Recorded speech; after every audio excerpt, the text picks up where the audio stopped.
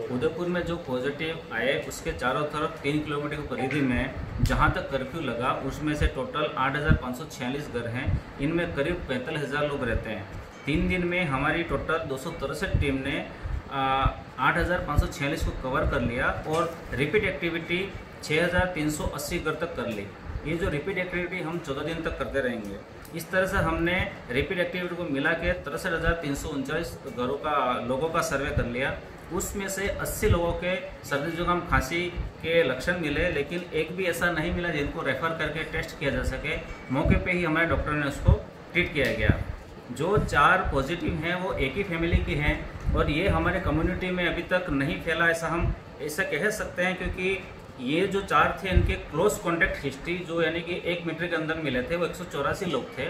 उसमें ट्रेन के पैसेंजर भी आ गए जो इंदौर से बच्चा आया था। एक सौ चौरासी में से 105 उदयपुर के हैं। 105 में से छिहत्तर की टेस्ट की रिपोर्ट नेगेटिव आ चुकी है। उनतीस की टेस्ट की रिपोर्ट आनी बाकी है। हम लोगों को बुला के इनको ट्रेस आउट करके जो जो भी कॉन्टैक्ट हुआ उनके सैंपल ले रहे हैं। ये जो चार हैं, इनकी तबीयत बिल्कुल सही है। अभी किसी को बुखार नहीं है और होप्स हो बहुत जल्दी सही हो जाए। इस तरह से हम जो जिला प्रशासन और मेडिकल विभाग सारे मिल के हम क्वारंटाइन कर रखा है पूरे ज़िले में। पूरे ज़िले में अब तक जो होम क्वारंटाइन कर रखा है, लोगों को घरों में रखा है, वो चिन्हित लोग हैं। उनसत्तर हज़ार तीन सौ इक्कीस, उसमें से सात हज़ार छः सौ सत्तावन लोगों का चौदह दिन का पीरियड पूरा हो गया। और आज की दिनांक, आज चार अप्रैल तक इकसठ हज़ार छः सौ चौंसठ लोग घरों में हैं जिसपे होम क्वारंटाइन पर रखा है जिसपे प्रशासन की पूरी नज़र है।